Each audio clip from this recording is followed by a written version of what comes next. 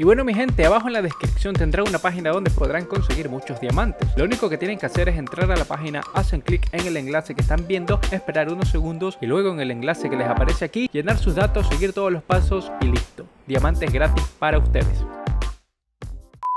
Hola qué tal amigos, ¿cómo están Bittercitos y Bittercracks? ¿Qué tal? ¿Cómo me les va el día de hoy? Ok, seamos rápidos. Free Fire lleva 4 años de existencia. Entre esos 4 años ha introducido y a su vez ha eliminado muchas cosas del juego. E incluso hay datos curiosos que muy pocos saben en la actualidad acerca de este juego. Como por ejemplo, la vez que Free Fire tuvo ventanas en ciertos lugares del mapa. Te he puesto que esa no sabías, ¿ah? Créeme, ustedes están demasiado jóvenes como para recordar esos momentos donde habían ventanas en algunas partes del mapa. O como dato curioso y gracioso, el que Garena tenga en su cuenta oficial de Free Fire una foto de Mr. Steven cuando era influencer de ellos y usaban su imagen porque hacía eventos con ellos. ¿Verdad que llama bastante la atención? Y es por eso que para el video del día de hoy deseo traerles 5 curiosidades bien curiosas que te dejarán con la curiosidad al saber lo curiosas que son. Así que una vez dicho todo esto, por mi parte no se diga más, deja tu un like por supuesto que eso me ayuda bastante y vamos con la intro.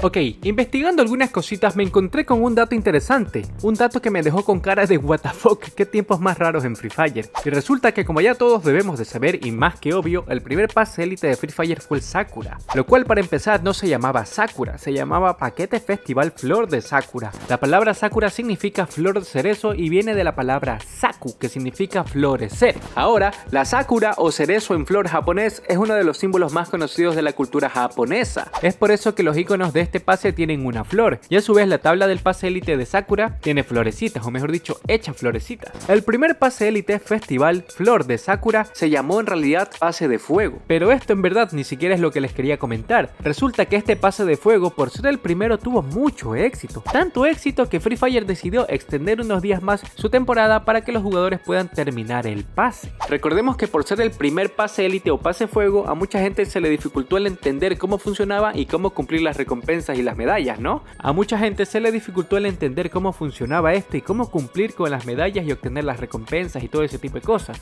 Y fue por eso que decidieron extenderlo cuatro días más. Así que el primer pase élite o pase fuego pasó a durar 35 días en vez de durar 31 días como cualquier pase élite normal.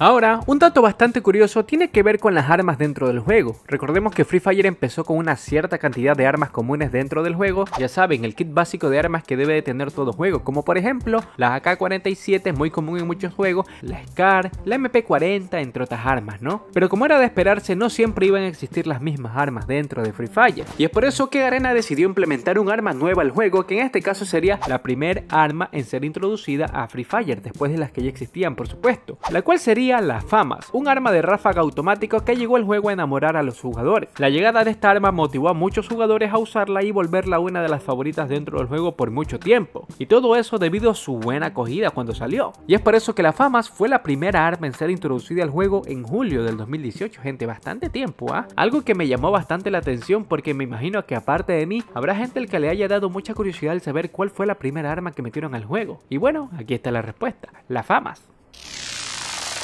Bueno, el tema de los personajes dentro del juego es algo bastante extenso, ya que con el pasar de los años el juego pasó de tener habilidades simples y sencillas a tener habilidades que un poco más y te dan superpoderes. En fin, si nos toca hablar de primeras cosas que han sido introducidas, pues para esta ocasión deseo hablar del primer personaje que fue introducido al juego. Pero antes de continuar, me gustaría ver si saben quién sería el primer personaje en entrar a Free Fire. Les haré una encuesta rápida y veremos si aciertan. Así que déjenme en los comentarios cuál creen que sea la respuesta correcta. Dejando a un lado los personajes que ya existían en Free Fire al inicio, ¿quién fue el primer personaje en ser introducido al juego como nuevo. Opción A, Wukong, opción B, Antonio u opción C, Cla. Estos tres personajes fueron agregados con el pasar del tiempo al juego, pero el primer personaje nuevo en existir fue Cla, mi gente. Felicidades a quienes acertaron. Para esta ocasión, Cla fue introducido al juego en julio del 2018, con la habilidad que ya todos conocen, peleador de Muay Thai, la cual sirve para dar puños a enemigos y bajarles mucha más vida. Una habilidad que cuando llegó al juego fue usada por Raimundo y todo el mundo, creándose incluso series en donde youtubers hacen retos de ganar solamente a puños y bueno, lo han hecho. La llegada de Cla sin duda fue un hecho bastante histórico que marcó Free Fire y por supuesto sigue haciéndolo, ya que me imagino que de todos los que están viendo este video, al menos un 70% tiene equipado a Cla dentro de sus personajes, o sea, lo usan.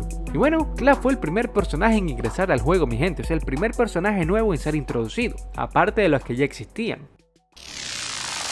Y bueno, llegando a este punto, déjenme comentarles que Free Fire al inicio no era tan agresivo como es ahora, cuando se trataba de atacar. Sin duda, era un Battle Royale común y corriente, donde tenías que jugar de manera inteligente, cubriéndote, buscando zona y usar partes del mapa a tu favor, como las garitas para campear. Todo eso cambió de un momento a otro, con una introducción al juego que sin duda cambiaría por completo la jugabilidad de este, y todo eso debido a su pared glue, la cual fue ingresada por primera vez para la actualización de julio del 2018. Desde ese momento hasta el día de hoy, Free Fire sin duda se caracteriza bastante por el uso de las paredes glue en el juego. Al principio era algo bastante extraño el poder tener un objeto que te cubra del daño enemigo, pero con el pasar del tiempo la gente aprendió a usar y acostumbrarse a esta pared, siendo de esta forma la pared glue el objeto más deseado dentro del campo de batalla, porque me imagino que aquí todos cuando caen en clasificatoria lo primero que quieren encontrar es una pared glue y bueno, el resto también como ya saben las armas, ¿no? Pero la pared glue es bastante necesaria. Y bueno, siendo esta también perfeccionada con el tiempo, Hoy en día la gente hasta ha encontrado formas de poner paredes de manera más interesante y más rápida. O sea, los insanos que ponen paredes agachados, acostados, saltando en la posición que les dé la gana, bueno, pero la ponen rápida. Así que mi pregunta es, ¿qué opinas de la pared glue? ¿Sabías que antes no existía dentro del Free Fire? O sea, que la gente antes jugaba sin necesidad de usar paredes porque no existía. ¿Sabías eso o no lo sabías? Porque créeme que yo cuando jugaba en esos tiempos no usaba la pared glue.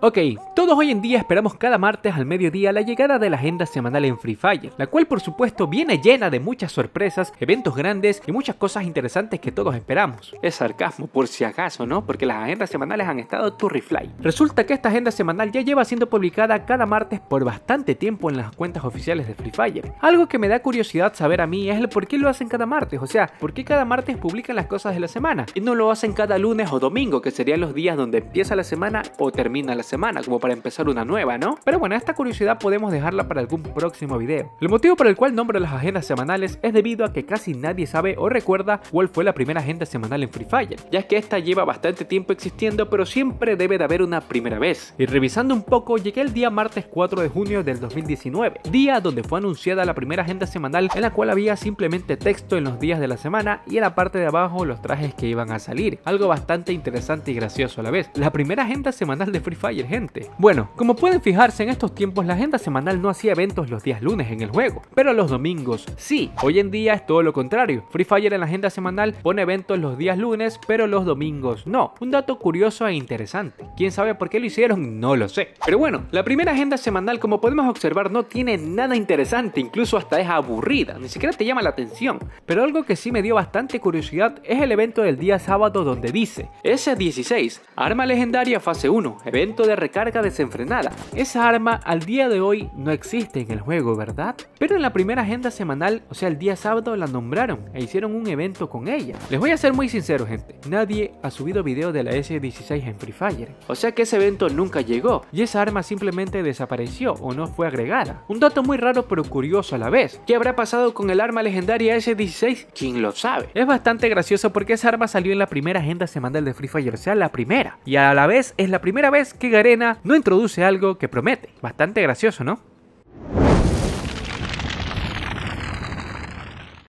Y sí, mi gente bella, estas han sido 5 curiosidades bien curiosas que la verdad me llamaba bastante la atención poder traerles al juego. Yo sé que algunos tal vez aquí, algunos bastantes informados en el tema, ya han de haber sabido alguno de estos tops, pero te apuesto que alguno de estos te llamó la atención o tal vez no sabías, y es por eso que merezco un buen like, ¿verdad? Tengo bastantes curiosidades, tengo bastantes cosas que puedo volver a subir en una segunda parte, así que ya saben mi gente, pueden dejarme un comentario preguntándome cualquier cosa que deseen saber y yo trataré de investigar por ustedes. La verdad me gustó bastante hacer este video porque son cosas que llaman la atención, son cosas que te dan curiosidad, son cosas que ni siquiera necesitabas o estabas buscando, pero ahora que las sabes, te gustó saber, ¿verdad? Ya sabes que si te gustó el video puedes dejar ese buen like que siempre ayuda a compartir con algún amigo que no sepa de estas cosas y por supuesto si eres nuevo te invito a que te suscribas porque esto de aquí va para largo, gente. Un placer haberles traído el contenido del día de hoy, así que por mi parte no se diga más y nos vemos en un próximo video. Adiós.